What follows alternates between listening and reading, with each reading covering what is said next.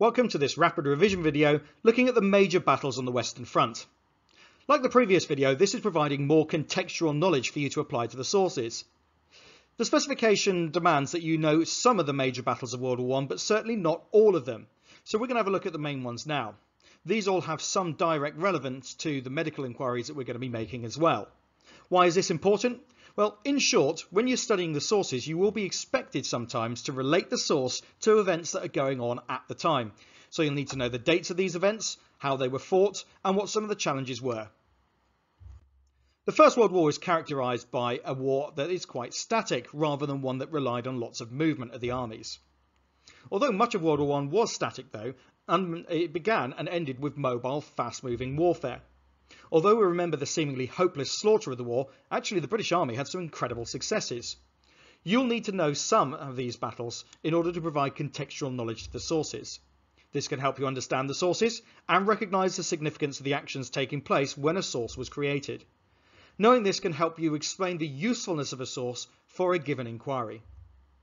Knowing the dates is important here. It can help you relate a particular source to a particular battle. So if you have a source, for example, from July 1916, and it appears to be about the war in France, then you can probably um, imagine that it's going to be about the Battle the, uh, of the Somme. But let's go through the major battles that we need to look at.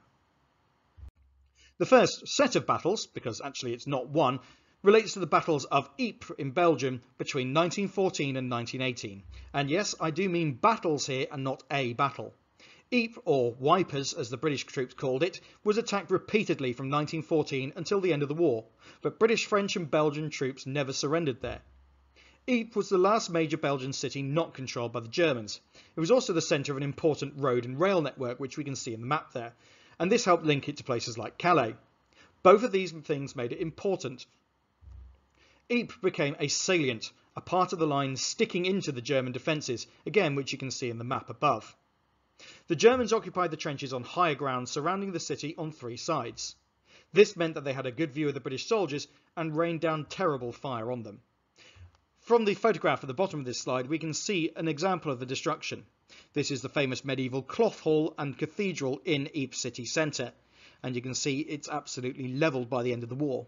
Today it's been rebuilt, and that's down to German reparations after the First World War. But to go into more detail about that would be more to look at the Germany topic. So let's proceed. So the key events. We've got the first Battle of Ypres in 1914. This is where the British, French and Belgians stopped repeated attempts to take the city. Both sides then dug their trenches and after this battle the German, Germans partly surrounded Ypres. We've also got the second Battle of Ypres in 1915. This was a second huge German effort to take Ypres. It failed, but it also marked the first widespread use of poison gas in World War I. Previously, tear gas had been used, but that's not poisonous, it's just irritating. And then we have the third Battle of Ypres, better known as Passchendaele. This occurred in 1917. This was a huge British and Allied effort to push the Germans back. It started well. The British had dug tunnels under German positions and laid enormous mines, literally destroying several hilltops where the Germans were based, such as at Hill 60. But then the weather and the heavy mud of Ypres prevented real success, with tens of thousands killed in the, in the fighting. In 1917, very uh, little ground was actually gained. Examples of the conditions can be seen in the photograph. You can pause the video here and make some notes if you wish. Our next key battle is the Battle of the Somme, which occurred between July and November 1916. Occasionally, mistakenly, people only remember this as occurring on the 1st of July 1916, because that was a particularly devastating day, but the battle was much longer, as you can see. In Britain, this is easily the most famous battle of the First World War. The battle was supposed to be a huge breakthrough, winning the war. On the very first day, though, it became clear that it would not work. Despite a week-long artillery bombardment on the 1st of July 1916, the British Army lost 19,240 men killed and nearly 50,000 men wounded. And they become relevant when we look at the pressure that was put on the medical services. The bombardment had not killed the Germans, it only warned them of the attack to come. The battle is seen as a huge failure of planning, and the generals in charge have been criticised for not doing more to protect the soldiers. But the Germans suffered too. It has been argued that they never recovered from their losses at this battle. By November, the British had suffered around 420,000 men killed, wounded and captured. The Germans had lost around 440,000. All this death and destruction put an extraordinary pressure on the medical services, who had expected to only receive 10,000 casualties a day, not 60,000 on the first day. For all this, the British advanced at most seven miles, but historians are disagreeing about how much good it did in the long run given the German losses. If you want to pause the video here and make some notes, you can do so. Our next battle, and one with particular direct relevance to medical services, is the Battle of Arras between April and May 1917.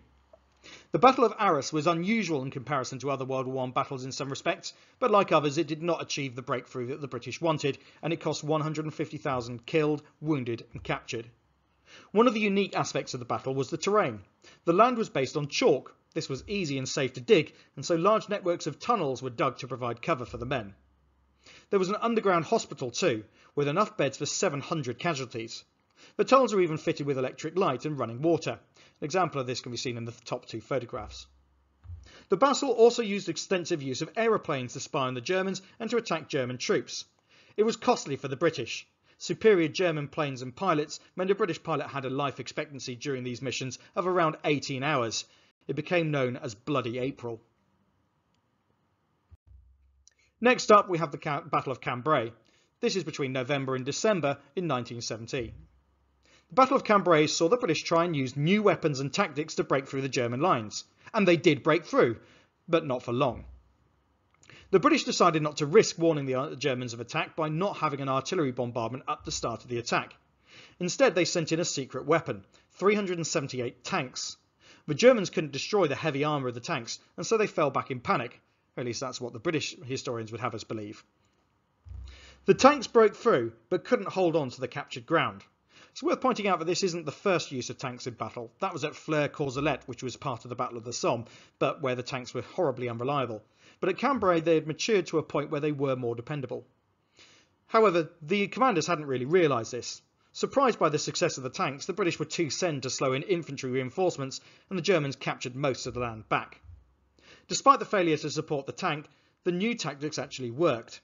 In 1918, these new tactics, a short artillery bombardment if they had one at all, a breakthrough with tanks backed by aircraft and rapid support from the soldiers would be used to push the Germans back for 100 days in a row, winning the war. So when you think about the artillery bombardments of the Battle of the Somme and the warning that they gave, Cambrai showed a new way of doing things. When you compare the army of 1918 with the army of 1914, there's a massive amount of progress. But we need to be focused more on the medical services here. And so when you're remembering these events, you relate them to what you're reading about. For example, you may find sources about blood transfusions, which were used in the most significant way in the Battle of Cambrai, for example. So remember the dates, remember the context of the battles, and relate it to the sources that you study. Our final points then. World War I is remembered for static trench warfare, but there were instances of mobile warfare too. Powerful defensive weapons made it difficult to attack enemy trenches. Both sides developed new technologies to help them advance, including aircraft, gas and tanks. The battles around Ypres between 1914, 1917 and all the way up to 1918 were characterised by muddy conditions and heavy casualties. The second battle saw the first use of poison gas, and later vast underground mines were dug to blast the German line. The Battle of the Somme in 1916 started with the deadliest day in British military history before settling into a months-long battle of attrition. It also saw the first use of the tank. The Battle of Arras saw the use of vast underground hospitals which treated the wounded safe from artillery fire. British aircraft suffered their worst losses of the war in this period.